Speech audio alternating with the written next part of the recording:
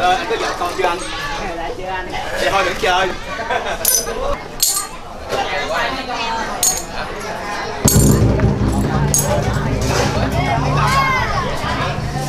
Ngọc lên thôi